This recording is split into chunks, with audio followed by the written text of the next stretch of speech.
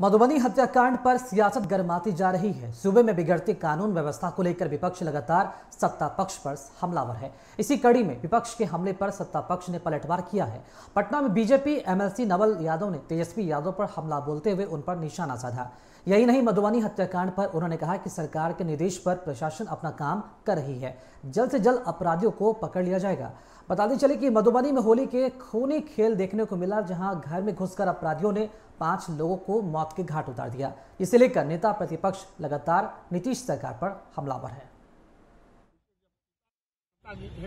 Order बहुत बढ़िया था। सावन में जन्म लिए भादों में बाढ़ आ गया तो सीआर कहा कि बहुत बड़ा बाढ़ आ गया। ये सब प्रतिपक्ष में है, वो कहेंगे, उनके कहने का और वो कह क्या सकते हैं? अरे, ये एक अपराधी ने इस तरह का कुकृत्य किया है, प्रशासन उस पर काम कर रही है और उस पर निश्चित रूप से कार्रवाई हो रही है। ज़मीन के अंदर भी अगर इस तरह के कुकृत्य करने वाले, समाज में भय पैदा करने वाले रहेंगे।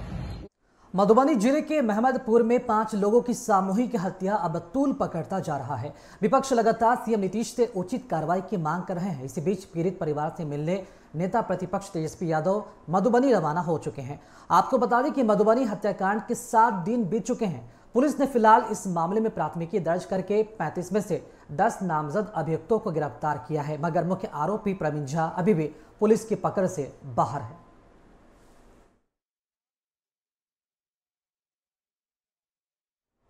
वहीं नेता प्रतिपक्ष तेजस्वी यादव के मधुबनी रवाना होने से पहले की तैयारियों का जायजा लिया नशे न्यूज़ संवाददाता बिरजू कुमार ने।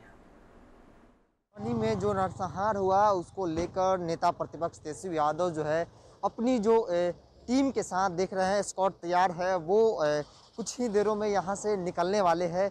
ये नज़ारा आपको बता दें कि दस सर्कुलर आवास राबड़ी आवास का है, जहाँ से जो इनका स्कॉट है, वो पूरी तरह से तैयार है। कुछ ही मिनटों में नेता प्रतिपक्ष तेजस्वी यादव जो है, वो यहाँ से मधुबनी के लिए मूव करने वाले हैं। वहाँ से पीड़ित परिवारों, वहाँ जाकर पीड़ित परिवार से मिलेंगे।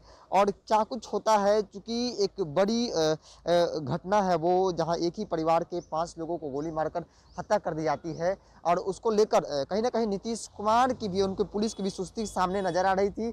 लगातार तेजस्वी यादव जो है, वो ट्वीट के माध्यम से, चूँकि वो बिहार नहीं थे बंगाल दौरे पर थे, दिल्ली गए थे अपने पिताजी से मिलने के लिए, उसको बंगाल गए।